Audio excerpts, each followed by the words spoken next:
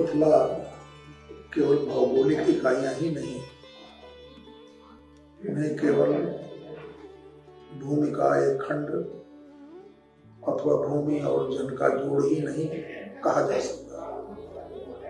अवध एक संस्कृति है मिथिला एक संस्कृति है, अवध और मिथिला की संस्कृति मिलकर समग्र भारतीय संस्कृति का भाग है।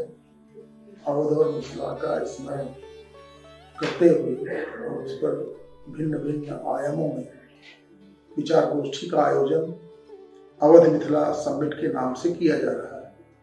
ये बड़ी प्रसन्नता का विषय है। इसमें आने वाले लोग निश्चित ही अवध और मिथिला दोनों के अंतर संबंधों पर, दोनों के भारतीय संस्कृति का अविच्छिन्न अंग होने पर चर्चा करेंगे।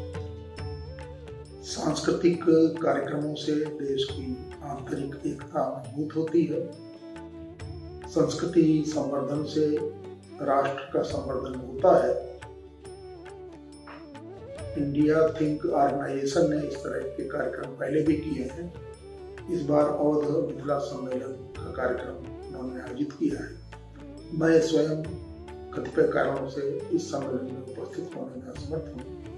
मैं सम्मेलन के आयोजकों, उससे जुड़े सभी मित्रों के प्रति शुभकामना अर्पित करता हूँ कि वह अपने अनुष्ठान में, अपने सपनों में सफल हों और इस अवसर पर उपस्थित सभी सभी जनों को प्रणाम भी करता हूँ।